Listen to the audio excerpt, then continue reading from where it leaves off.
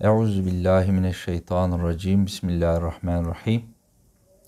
Elhamdülillahi'llezî hedâna lihâzâ ve mâ kunnâ linehtediye levlâ en hedânallah. Laqad câet rusulü rabbina bil hak. Sallu ala rasulina Muhammed. Allahumme salli ala. Sallu ala şefii zunubina Muhammed. Allahumme salli Sallu ala tabibi kulubina Muhammed. Allahümme salli ala Evet. Esselamu Aleyküm ve Rahmetullahi ve Berekatü. Merhaba sevgili takipçiler, arkadaşlar, kardeşler. bir daha önceden duyurmadığımız e, canlı bir yayında daha birlikteyiz. Tabi geç bir saat. E, cümlemizin gecesi hayır olsun. Ee, inşallah yine e, güzel, keyifli bir yayın olsun diye ümit ediyorum. Dua eder, dua beklerim. Sorular e, buradan şeyden yorumdan soru yazmayın e, lütfen. Onlar çok dikkat dağıtıcı oluyor. Soru işareti var kenarda. Soru sor var. Soru sor butonuna basarak sorabilirsiniz. E, inşallah bir iki tane cevaplamaya çalışırım. Ama bugün konu daha farklı. Şimdi e, biliyorsunuz yaz geldi artık yavaş yavaş insanlar yaz tatiline işte gidiyor. Bayram yaklaştı şimdi. Bayramla birlikte işte tatil birleştirenler, e, bir, biraz böyle bir kafa dinlemek isteyenler var. E, şimdi bizim de e, dindar kesimin, mütedeyyin kesimin, dinini yaşamaya çalışan kesimin gittiği bir tatil köyü var. İhlas Armutlu Tatil Köyü. İhlas Holding'in e, bir kuruluşu. Belki biliyorsunuzdur, duymuşsunuzdur. Ee, bununla ilgili bazı izlenimlerimi, dikkatimi çeken noktaları e, paylaşacağım. Tabi amacımız Allah rızası için bir e, emri bil maruf, nehi anil münker yapmak. Şimdi ben kendilerine de ilettim bunu. Kendileriyle de konuştum. Geçen e, hafta İhlas Armutlu Tatil Köyü'ndeydim. Biliyorum hem cemaatten hem arkadaşlardan hem etraftan e, çokça gidenler var. Zaten ben de yine hocam e, itibariyle öğrenmiştim bu İhlas Armutlu Tatil Köyü'nü 2021'de. O zamanlar da bu e, pandemi süreciymiş. E, benim hanım o zaman hatırlattı bana pandemi sürecinde biz gittik diye. Ne kadar üzerinden zaman geçmiş sanki hani böyle bir ömür geçmiş gibi o kadar artık eskide kalmış benim için. Plandemi de geldi geçti. Rabbim e, tekrarından da bizleri muhafaza eylesin. Amin. Şimdi e, İhlas Armutlu Tatil Köyü e, bilmiyorum bilenleriniz vardır belki. Hani e, bir kısmında belki ilgilendirmiyor ama bir e, anekdot olarak sizlerle paylaşmak istiyorum. E, güzel bir yer. Birincisi Yalova'nın Armutlu ilçesinde. İşte e, hakikaten e, işte denize nazır yapılmış bir e, devre mülk sistemi. E, termal de var aynı zamanda. Termal su da var. Yani faydalı güzel bir yer. Ben beğeniyorum da temizliğini de hani e, beğeniyorum. İşte yapıların yapıyı da beğeniyorum. Güzel. Ama güzel olmayan tarafları var. Çirkin olan, sıkıntılı olan tarafları var. Bunları da e, konuşmamız lazım. E, bu videoyu da aslında hani yapmamın sebebi işte yetkililere ulaşır, insanlara ulaşır. E, giden burayı tercih eden kardeşler e, sonrasında belki oraya ulaşır. E, bir elin nesi var, iki elin sesi var. Şimdi sosyal medyayı bu anlamda kullanmakta fayda var. Ben gittim. E, tatilim bittiğinde işte halkla ilişkilere gittim. Orada şikayetlerimi e, kendilerine sundum. E, dinlediler e, sağ olsunlar işte biraz e, not aldılar falan ama şimdi bir kişiyle olmaz. Bir çiçekle bahar gelmez. Belki işte bunu dinleyen insanlar da sonrasında böyle e, isteklerini eğer oraya iletirlerse belki daha dikkate alırlar diye bir ümitle ben bunu şey yapıyorum. Yani niye? Çünkü Müslümanların da tatil yapabildiği bir yer olsun. Şimdi evet burada e, diyor ki Gamze Hanım e, maalesef orada pek şeriatı bir durum yok diyor. Evet. Şimdi ben de bunlardan bahsedeceğim. Şimdi burası İslami hassasiyetlere e, dikkat eden bir e, yer e, izlenimini veriyor. Hem gidenler açısından da öyle. Şimdi e, bakıyorum çünkü hani genelde tarikat ehli veya işte bir şekilde mütedeyyin insanların da gittiğini görüyorum. Hani herkes ama öyle değil. Şimdi tamam bu güzel. E, kadınlar plajı ayrı. Mesela bu çok önemsediğim bir konu. Kadınlar plajı ayrı. Orada e, hanım kardeşler işte yüzebilirler. Çoluk çocuk hani oynayabilirler. Güzel. Şimdi Efendi Hazretleri, Mahmut Efendi Hazretleri, Rabbim e, derecelerini aile eylesin amin. Mesela ondan e, şey yapılan bir söz var. E, demiş ki hani bize e, deniz küstür. Yani biz e, İslami bir ortamda yaşayamadığımız için denize girmemiz zor. E, bunu anlıyorum ben bu laftan yani. Deniz bize küsmüştür lafında. Şimdi e, tabi deniz de bir nimettir. allah Teala'nın bir e, nimetidir. Şimdi orada insanlar yüzecek. Hani o tuzun işte mineralleri vesaire şimdi an, anlatmak hani uzun sürer. Onlardan faydalanacak. Güneşten faydalanacak. D vitamini alacak falan. E bunu yapmak için şimdi karışık deniz olsa, karışık plaj olsa çok sıkıntı olur. Çok sıkıntı olur. E, şeriata uygun olmaz yani haram olur. Ama şimdi orada kadınlar plajı var. Tamam kadınlar plajı var da kadınlar plajı olduğunda e, şimdi kadınların da e, birbirlerine karşı avreti var. Erkeklerin avret bölgesi neresi? Erkeklerin avret bölgesi göbek deliğinden başlayarak diz kapağına kadar. Diz kapağı dahil. Şimdi bu avret bölgesini erkekler e, başka bir erkeğe gösteremez. Şimdi e, onun dışında kolunu, bacağını vesaire belki altını, ayağını gösterir. Burada bir sıkıntı yok. Ama avret bölgesini e, bir erkeğe de gösteremez. O da haram. E peki kadınlarda bu durum yok mu? Kadınlarda bu durum yok mu?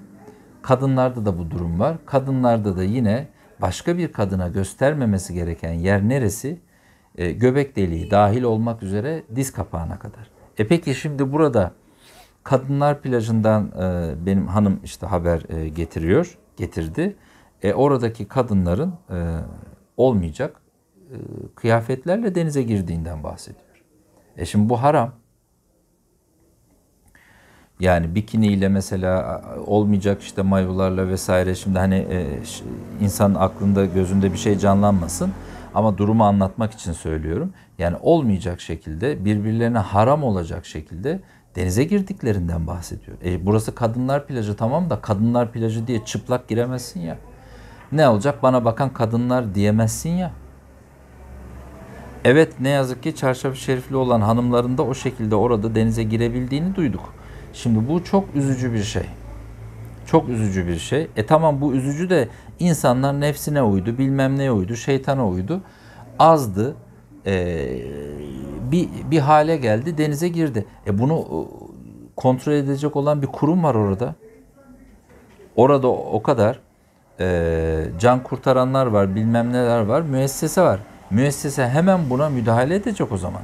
Diyecek ki bir dakika burada bu kıyafetlerle denize giremezsiniz. Şimdi orada eğer ki e, şey olsa e, e, nedir onun ismi? Şimdi tabii çarşafı şerif giydi giymedi hani bu, bu şeye dönüşmesin. İnsanın bir kere kalbi ilk önce çarşafı şerifli olacak. Kalbi sakallı olacak. Kalbi şalvarlı olacak. Kalbi cübbeli olacak. Kalbi sarıklı olacak. Ondan sonra da e, dışı da öyle olacak. içi de öyle olacak. İnsan ama tamam hani e, işte nefsine uydu, şeytana uydu. Bir an bir cahilane bir hareket yaptı tamam. Ama ama orada bu müessese İhlas Holding, İhlas Armutlu Tatil Köyü buna müdahale edecek. Gelelim e, havuza. Kadınlar havuzu olsun, erkekler havuzu olsun. Orada da aynı durum var. Şimdi erkekler havuzuna giriyorum. Diyor ki kardeş e, oradaki görevli diyor ki e, beyefendi boneniz var mı? Bonem var.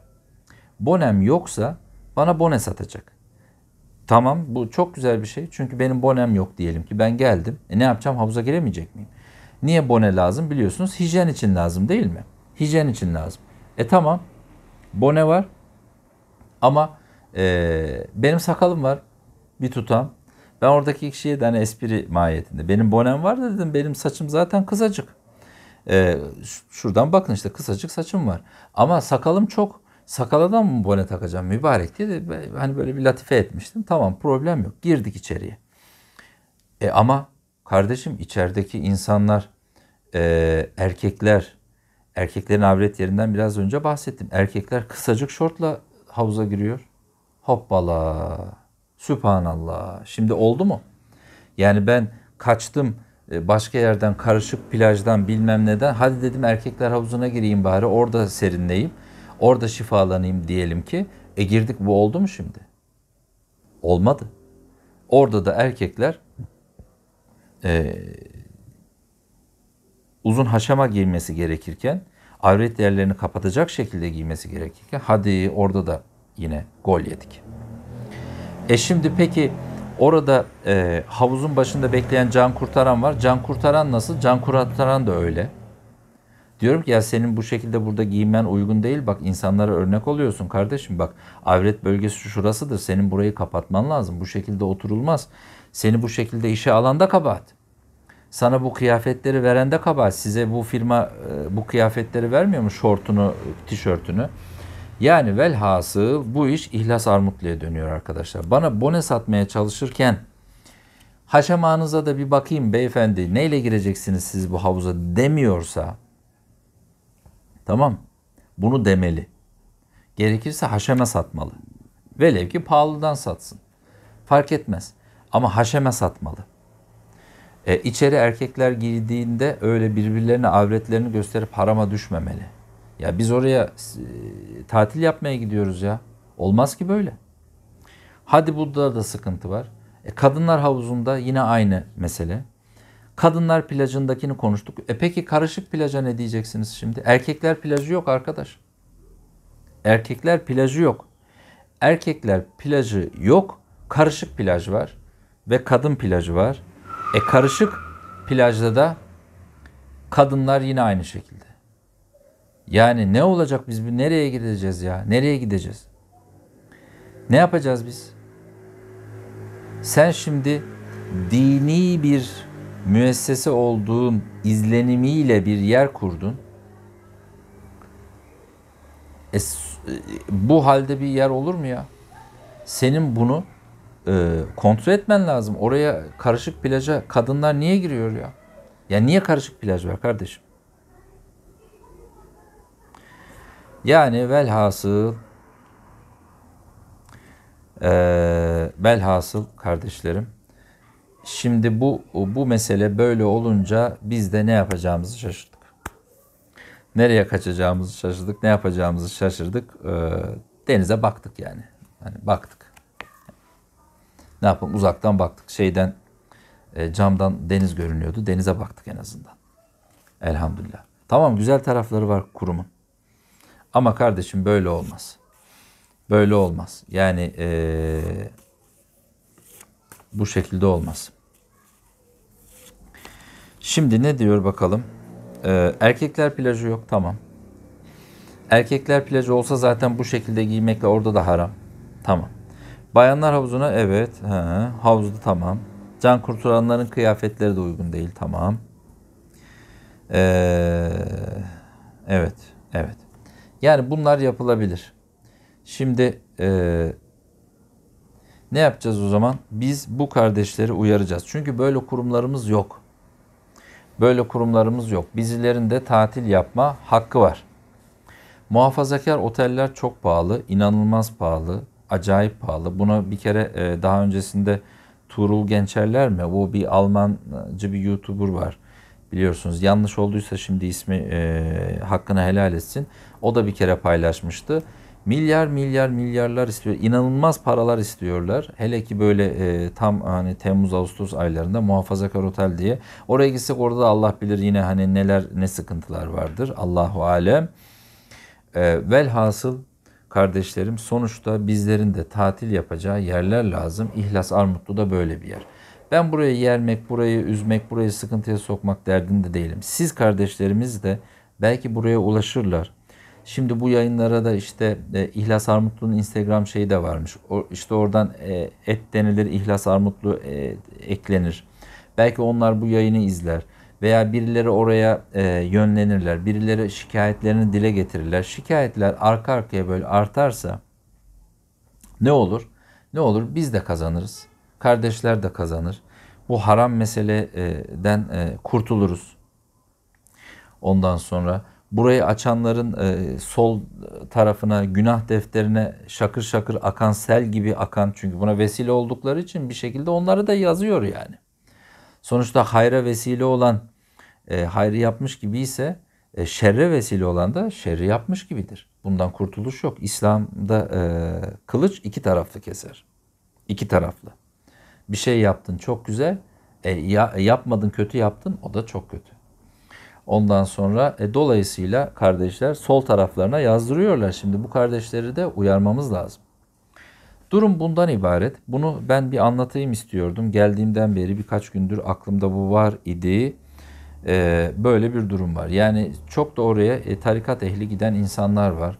E, ondan sonra işte mütedeyyin giden insanlar var. Öyle olmayan ama ucuz olduğu diye hani diğer otellere göre ucuz diye e, güzel hizmetleri var diye giden insanlar da var biliyorum. Ama bunları ne olur düzeltelim. Evet. Peki. Durum bundan ibaret. Sizlerden de ricam e, benim ulaşabildiğim yerler yok. Ben garip bir insanım. Ama sizlerin nerelere ulaşabilen aranızda insanlar vardır. Böyle ufak ufak e, bunları dillendirsek, bir erkekler plajı açılsa, erkeklere haşeme zorunluluğu getirilse, ondan sonra öyle avretlerini açıp rahat rahat gezmeseler, harama girmeseler, biz de çoluğumuzu çocuğumuzu alıp rahatça hani bir e, bir e, deniz tatili yapabilsek ne var yani? Böyle bir kurum var, güzel de bir yer. İstanbul'a da yakın. İstanbul'dan gitmek kolay. Ondan sonra insanlar bildiğim kadarıyla şeye binip, vapura binip e, feribota binip yani e, kadınlar, kadın grupları, e, hocalar da var muhtemelen aralarında. E, seferi mesafeye e, takılmadan, başlarında mahremleri olmadan, erkek olmadan gidebiliyorlar. Bu çok büyük bir nimet. Çünkü seferi mesafe olmuyor feribota binince İstanbul'dan gelenler anladığım kadarıyla. E, o şekilde gelenler de çok. E, böyle bir nimet var e, elimizde. E, ne yapacağız? E, Bodrum tarafları falan daha beterdir yani herhalde tahmin ediyorum. Hani oralar hiç... Zaten Yalova'dan geçtik. Yalova'nın içinden geçerken mahvolduk yani. Yani hani bir şey e, ne yapalım işte böyle işte. Evet. Evet durum böyle arkadaşlar. Evet. Beğenmediğiniz tarafları da olabilir. Yani elimizde bu var şu anda. Ben e, var olanı yermek değil, var olanı e, geliştirmek taraftarıyım, peşindeyim. Peki. Evet. Buraya kadar tamam. Şimdi sorular kısmına geçiyorum. Birkaç da soru alayım sizlerden. Ee, ve ardından bitireyim oldum. Buraya kadar İhlas Armutlu'yu halletmiş olduk. Evet. Birisi e, çok katılamayacağım falan diyordu. Sorulara bakın diyordu ama sorularını silmiş mi acaba? Evet. Hmm. Şimdi birisi diyor ki hocam ee, eşli online eğitim planları var mı? Şimdi ben e, çift terapisi yapıyorum. Eşli online eğitim planları diye bir şey şimdilik yok o, gündemimde. Süpervizyon gruplarına başladım e, psikolog e, meslektaşlara. Yeni daha başlamış e, süreçlere terapi anlamında daha e, az deneyimi olan kardeşlerle süpervizyon. Bir de yakında inşallah bilişsel davranışçı terapi eğitimleri açacağım. Dua edin. E, dualarınızı beklerim. E, Rabbim e, vakitlerimize bereket versin. Ondan sonra böyle bir sürece başlayacağım ama aile seminerleri vesaire şimdilik e, yani psikologlara yönelik eğitimler gibi aklımda böyle bir plan var meslektaşlara. Ama hani sizlere de grup olarak böyle eğitimler olabilir. Biraz zaman meselesi tabii, biraz vakit meselesi. Çünkü bir taraftan da terapilerim devam ediyor. Onları da devam ettirmem lazım. Yani danışanlarımla terapiler. E, şimdilik o eğitimler biraz daha arka planda kalacak gibi. Evet.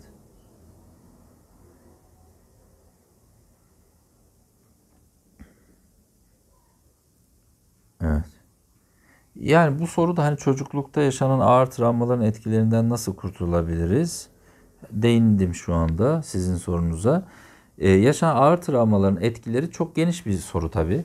Ee, yaşanan e, ağır travmaların etkileri deyince işte artık psikolojik etkileri, e, duygusal etkileri, bilişsel etkileri, davranışsal e, etkileri yani davranışsal çıktıları, sonuçları, duygusal sonuçları, bilişsel sonuçları e, şeklinde ilişkisel sonuçları hani birçok sonuçları olabilir.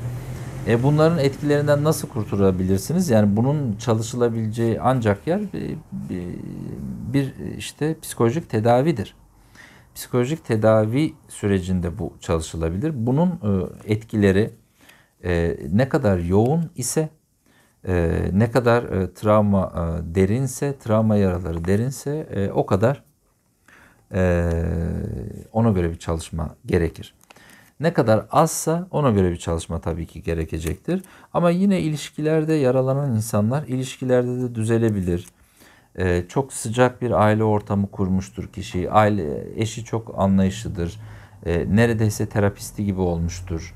Onun yerine sorunlarını çözüyordur anlamında söylemiyorum. Yani onu büyütüyordur anlamında söylemiyorum. Ama onu çok öyle güzel destekliyordur ki onun da travmatik e, yaraları çok ağır değildir, çok derin değildir. Birbirlerine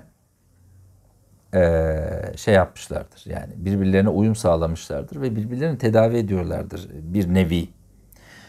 Böyle durumlarda da evet terapisiz belki olabilir ama ne kadardır bunun sayısı çok fazla yoktur. O yüzden o yüzden yapılacak şey bir terapiye gitmektir. Eğer imkanınız varsa diyorlar ki e, psikoterapiler çok pahalı. E, haklısınız. E, hayat şu anda çok pahalı. Aslında psikoterapiler pahalı değil. E, hayat bilmiyorum ne ucuz kaldı. Yani şunu alayım desen e, uçuk uçuk rakamlar çıkıyor. Dolayısıyla bu işte e, bir şekilde bu fiyatlar var. E, bir de psikoloğun da deneyimine göre vesaire e, o fiyatlar da artıyor. E, bundan hani çok fazla başvuru varsa falan bunlardan da etkileniyor. E, keşke yani psikologlar ücretlerini e, azaltmak yerine yapılacak şey devletin bu tedavileri karşılamasıdır. Yani psikologlar haklarını almasın mı? Alsın. o zaman ne yapılacak? Devlet bir sigorta sistemi kurar.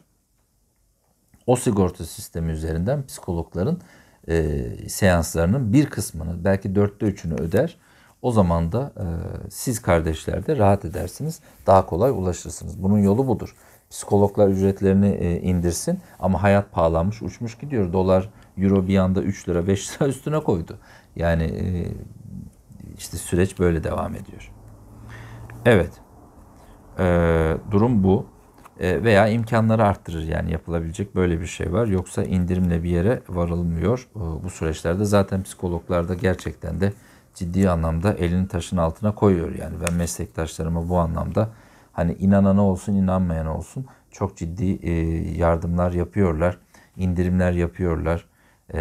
Hani kendilerinden fedakarlık yapıyorlar. Bunu da görüyorum. Yani inanan olsun inanmayan olsun. Meslek etiği diye bir şey var. O yüzden Buna çok dikkat ediyor meslektaşlarım bu konuda da e, hani hakta yemeyelim diyelim. Buradan kendim adına söylemiş olayım. Evet. Başka ne var? Evet. Son bir soru diyelim. Evet. Tamam.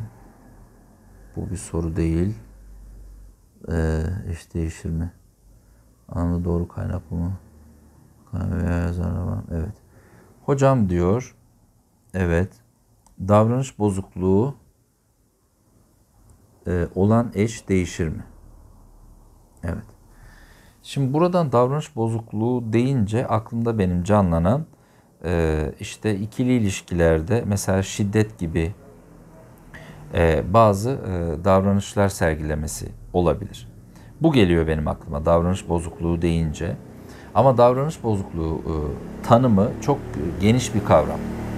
Şimdi bunun içerisine hani benim dediğim gibi şiddet, işte öfke davranışları, saldırganlıklar girebilir. Davranış bozuklukları, kavgacılık, işte sorun çıkarma, ondan sonra e, uzlaşmama, küslük, küsme e, davranışları. Yani ilişkiyi sabote edecek, zora sokacak hareketler ve davranışlar diye anlıyorum. Ama bunun dışında şimdi davranış bozukluğu deyince e, başka şeyler de işin içine girebilir. E, direkt bununla alakalı belki değildir ama aklıma geldiği için söyleyeceğim. İşte e, nedir? E, eşiniz işte e, kumar bağımlısı olabilir. Bu da sonuçta bir davranıştır. Bir içeriğinde bir e, psikolojik, sosyolojik bir durumdur. Ekonomik bir durumdur. Bazen biyolojik de bir durumdur. Bağımlılıkların işte madde bağımlısıdır eşiniz. Ondan sonra porno bağımlısıdır. Cinsellik bağımlısıdır. Farklı farklı bağımlılıklar var. E, ondan sonra işte madde bağımlısı dedik vesaire. Sigara bağımlısıdır. O da bir bağımlılık ama hani böyle artık her yerde sigara bulunduğu için biraz da e, önemsizleştirilmiş bir bağımlılık ama e, başka bağımlılıklara da e, kapı açabilecek bir bağımlılıktır sonuçta. Sigara da bir bağımlılıktır. Şimdi eşinizde böyle bir durum da olabilir. Yani baştaki saydığım davranış problemleri, ilişkiyi e, zora sokacak, sabote edecek, küsme, kolay kavga çıkarma, şiddet, saldırganlık vesaire vardır veya işte böyle bağımlılıklar vesaire vardır. Şimdi bunlar var ise bunlarla ilgili ne yapılır? Bu eş değişir mi? Birincisi şimdi olur mu olmaz mı diye ya hani siyah mı beyaz mı gibi yaklaşmayalım. Ee, her insan değişebilir. Her insanda değişme potansiyeli olabilir. Yeter ki istesin, yeter ki gerekli koşullar oluşturulsun, yere e, e, işte uzmanlar, işte gerekli tedaviler vesaire yeter ki onu destekleyecek arkasında, yanında e, bir e, bir ortam olsun. Yani aile üyeleri olabilir, işte e, arkadaşlar olabilir, akrabalar olabilir. Bir destek grubu olsun. Yeter ki kişi buna e, istekli olsun, motive olsun. Başta istekli motive olmamış olabilir ama sonrasında zamanla tedaviye başladıktan sonra veya işte e, eğitime başladıktan sonra buna istek kazanmış olabilir. Bir de e, gerekli ortam olsun, uzmanlar olsun. E, bütün bunlarla bakınca insan değişebilir. Yani ne diyelim böylelikle çok umutsuz da olmamak lazım. İnsan değişebilir ama bu bir zaman istiyor. Yani bir insanın e, şu andaki haline gelmesi dünden bugüne bir anda olan bir şey değil. E, değişmesi de bir anda olmuyor. Ama kişiye inanalım, kişiyi destekleyelim. E, kişi de tabii ki e, sizin e, hüsnü zannınızı, e, ne diyelim, e, güzel yaklaşımınızı kötüye kullanmasın. O bunlar nasıl olsa işte benim arkamdalar diye habire aynı yere dönmesin.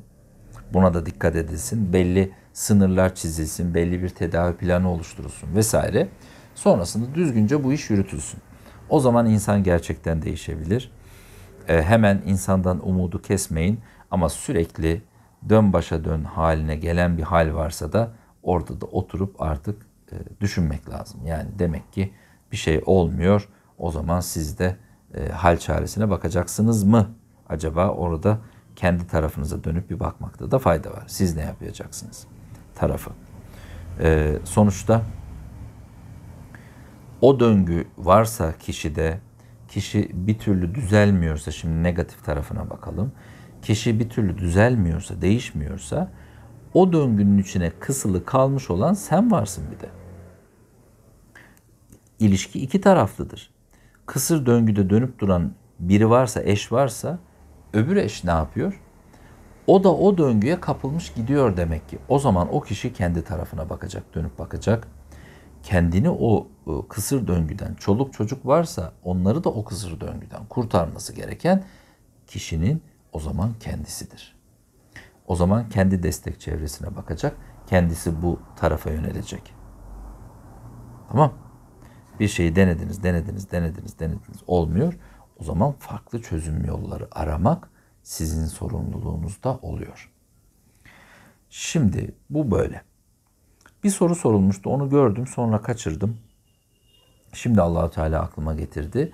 Eşiniz ne iş yapıyor diyor.